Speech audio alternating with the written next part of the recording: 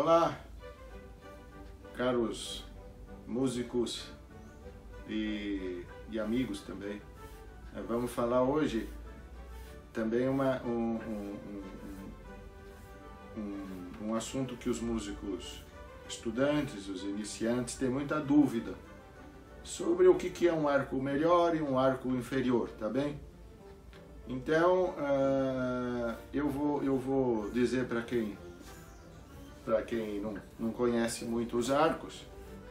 Por exemplo, eu vou começar por aqui assim. Uh, enquanto um, os instrumentos já, o instrumento violino, né, o, o, o, a família do violino, já são estudados, acho que aproximadamente, não tenho muita certeza, há, há, há cinco, seis séculos já, eles vêm lá da, do, do, do, do século XVI, que já foi, já foi desenhado esse instrumento. Enquanto eles têm todo esse tempo já de pesquisa, estudo, além do que, eu acredito que o, o violino é um instrumento propriamente perfeito, ele foi realmente concebido muito, muito bem. É um, eu adoro o violino, é, eu, sou, eu, não, eu, eu, eu não posso falar sobre violino, que eu vou sempre falar bem do, do instrumento. Enquanto que os instrumentos já são estudados há 5, 6 séculos, né? O arco não. O arco romântico, esse que se usa agora, ele não tem 200 anos de existência. Tá? Ele foi mais ou menos desenvolvido na metade do século XIX, mais ou menos por aí. Então ele é relativamente recente. Então uh, não se conhece muito bem, não se tem muito conhecimento do arco, né? ele foi desenvolvido, o, o Turti foi muito feliz no seu desenho, porque ele era inteligente, criativo, e ele conseguiu fazer um arco que realmente até hoje vem funcionando muito bem. Mas, como agora existe, existe muita produção de arcos, e, e arcos de N qualidades, é bom que vocês saibam o que é um arco melhor e um arco inferior, né? Uh, e o arco, se ele não tiver uma qualidade mínima, ele, ele vai desanimar o músico. Começa por aí, o estudante, né? Vamos chamar assim, tá? Então ele tem que ter uma qualidade mínima. Até dizem, não sou eu que, que faço o arco que, vou, que, que garanto isso, mas dizem que o arco é mais importante do que o próprio instrumento. E, e tem um certo sentido, porque se um arco não tiver aquele mínimo que eu estou falando, ele não vai, você não vai conseguir tirar sonoridade. Então eu vou, eu vou até pegar um arco como modelo aqui assim para comentar. Por exemplo, né, uma coisa que eu, que eu considero absurda, né? Por exemplo, essa aqui é a crina. Essa aqui é a crina. Evidentemente é crina animal. Eu sou um arqueteiro, eu não... Então, dizem, eu, eu já vi, né? Mas é um absurdo. Tem isso daqui, fizeram, fazem crina sintética. É inacreditável, sabe? Pagar um arco 50 reais de crina sintética, você está jogando 50 reais fora, tá certo? Então não é questão de preço. Não toca. A, a crina sintética não retém breu, ela escorrega na corda. Se você quer tocar violino, produzir som, não é crina sintética, não dá. Aquilo lá não serve para isso. Okay? Então, por esse tipo de coisa, assim, absurda, né? Absurda, que não, não dá para comparar com nada, né? Crina sintética, não. Se o arco tiver crina sintética, não. Não é para usar, não pode usar. Uh, o, então vai, vamos falar. Falamos da crina. Crina também existe N, N eh, eh, de, de várias procedências. Crinas baratas e crinas caríssimas. Sendo animal, vai tirar sonoridade. Pode não ser a melhor, pode não durar muito, mas a hora que vocês passam um breu razoável, vocês vão conseguir tirar uma sonoridade. Então, estabelecendo o arco de violino como padrão, né? Senão, se eu para falar sobre todos, eu iria tomar muito tempo. Então, o arco de violino, ou, ou um arco, né? Então, ele, quando vocês se vão adquirir um arco, a, a primeira coisa a ver é se o arco, propriamente dito, essa essa parte de madeira, tem uma resistência a, este, a esta solicitação deste esforço aqui, tá? Porque basicamente eh, o, o, o, o, músico vai usar este esforço com, com o indicador aqui, forçando para tirar aquele infinitas uh, formas de golpes de arco, mas basicamente é este esforço aqui que o músico vai fazer. Basicamente, tá? Eu não sou professor de música, eu sou arqueteiro, tá bem?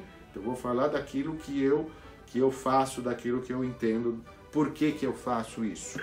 Então, você tem que perceber que o arco aquele tem, tem uma certa resistência, né?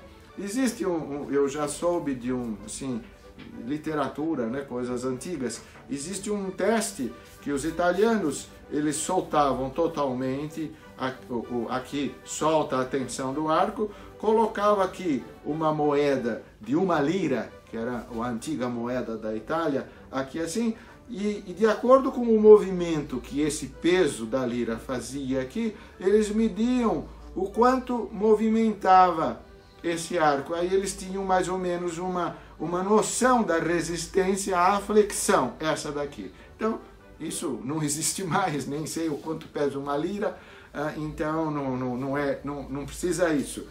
Então, o, o, o, o músico, quem está estudando, tem que ver que ele, o arco, quando vai comprar um arco, tem que ter esta resistência à flexão. Isso é uma coisa.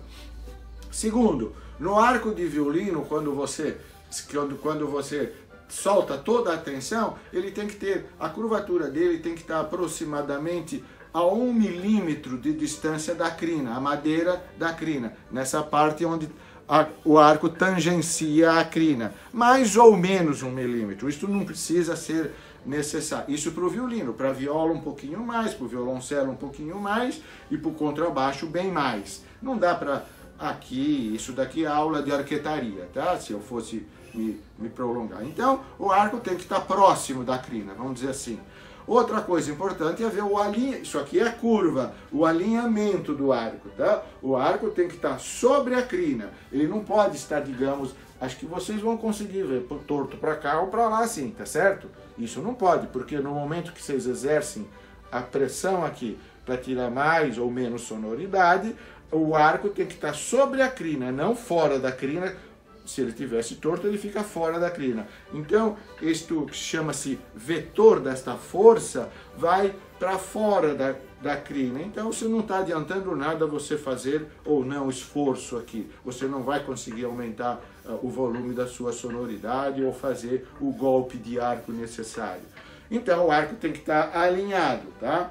Outra coisa importante também, importantíssima, talão, o talão do arco tem que estar muito firme aqui, não pode estar balançando.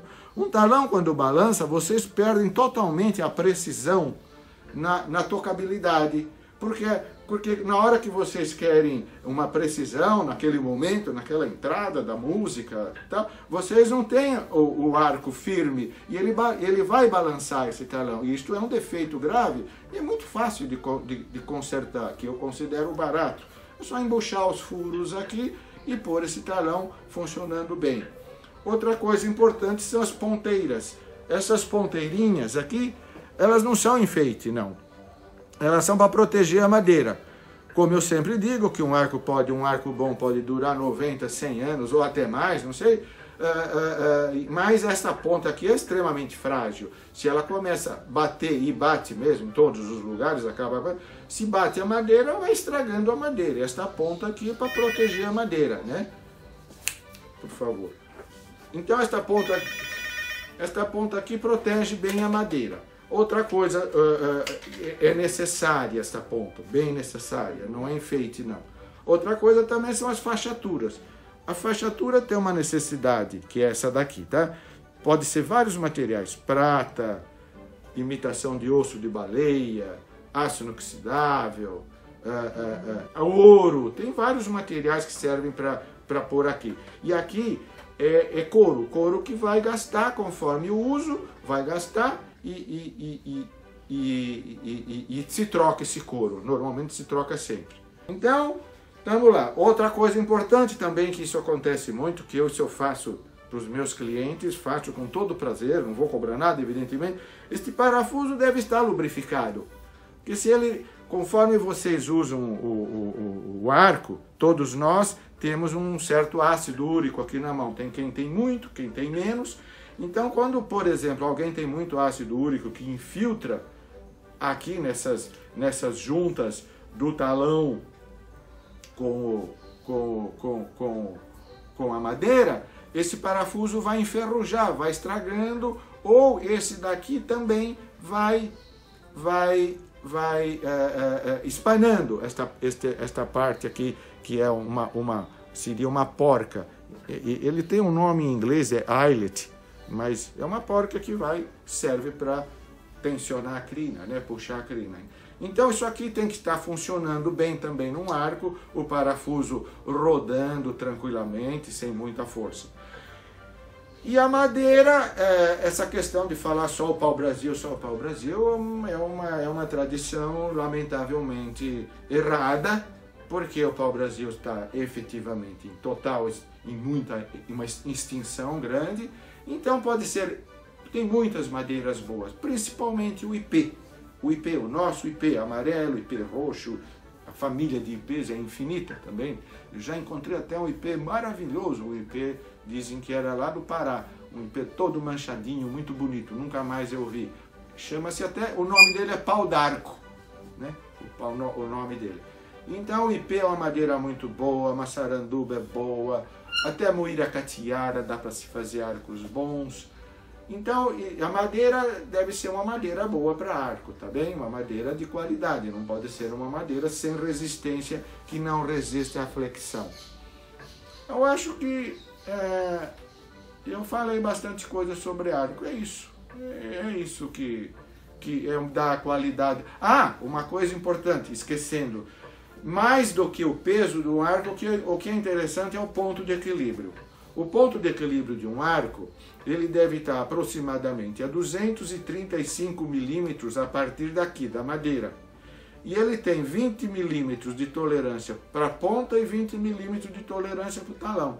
Então, 235 milímetros, mais ou menos, é o ponto de equilíbrio ideal de um arco, tá bem? Então, ele tem 40 milímetros de tolerância, 20, digamos, 20 milímetros para o talão e 20 milímetros para a ponta. Isto, se vocês tiverem condição, que é muito fácil, é só ter uma reguinha qualquer, pega o ponto de equilíbrio assim mesmo, a gente pode pôr o ponto de equilíbrio com o próprio dedo ou, ou em qualquer lugar, né?